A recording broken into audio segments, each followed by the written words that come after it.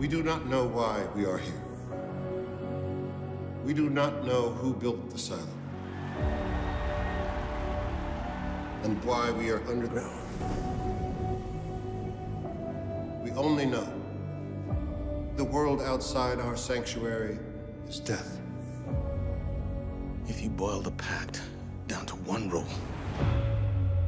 it's do not say you want to go outside.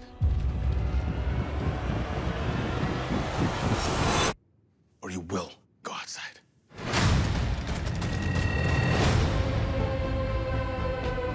Don't you ever think about the world beyond the silo? What if what we see is not what's out there? Down in mechanical, there's always someone who has a theory about the silo.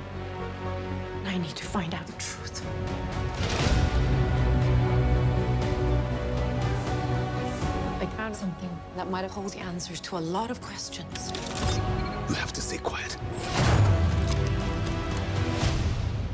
And keep your head down.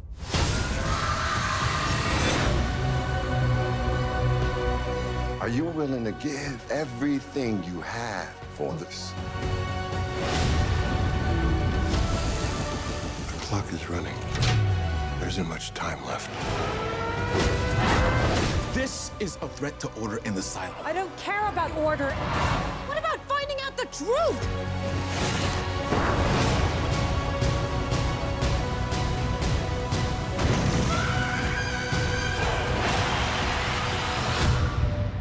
Some mysteries are best left unsolved.